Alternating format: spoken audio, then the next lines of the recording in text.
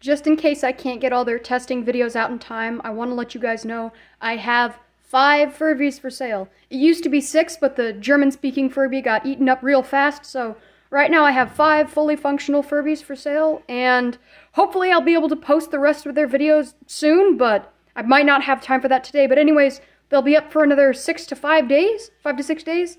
So yeah, happy bidding!